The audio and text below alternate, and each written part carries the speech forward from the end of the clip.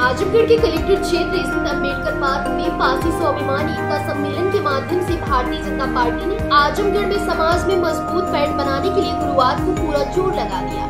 कार्यक्रम के मुख्य अतिथि केंद्रीय ग्रामीण विकास राज्य मंत्री एवं पासगांव से सांसद कमलेश पासवान रहे। उन्होंने पासी समाज की एकता व भारतीय जनता पार्टी के द्वारा पासी समाज समेत एस एस टी व ओबीसी वर्ग को लेकर किए गए कार्यों का उल्लेख अपने संबोधन में किया।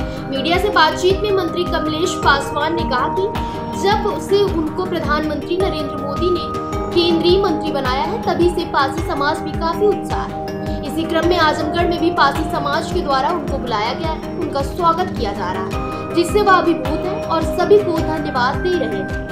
वहीं उन्होंने कहा कि आज फ़िलहाल यहाँ स्वागत सम्मेलन का कार्यक्रम है, इसीलिए वह इस अवसर पर बात करेंगे। वहीं आगामी विधानसभा उपचुनाव को लेकर उन्होंने कहा कि जैसे उपचुनाव की घोषणा होगी, भाजपा पूरी तैयारी के साथ हर सीट पर लड़ेगी और जीत हासिल करेगी।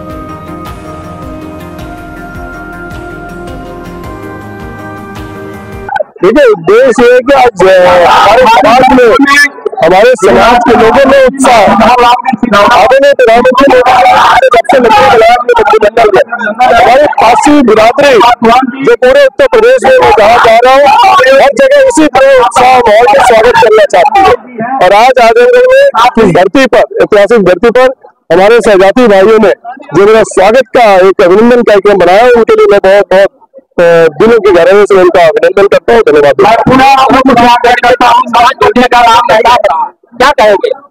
देखिए मैंने कहा कि पासी समाज आज मेरा अभिनंदन करने के लिए बुलाया। मैं इस पर बात करना चाहता हूँ आपसे कि भारतीय जनता पार्टी और दूसरी पार्टी क्या करे अभी इस पर बात नहीं करेंगे अभी जो मुख्य कार्यक्रम का उद्देश्य स्वागत का केंद्रीय मंत्री का स्तर होगा तो घोषणा होगा तो हम उसको पूरी तैयारी के साथ भारतीय जनता पार्टी का हर सीट पर झंडा बुलंद करने का काम करेंगे। चुनाव भारतीय जनता पार्टी को हर जगह जिताने का में भारतीय जनता पार्टी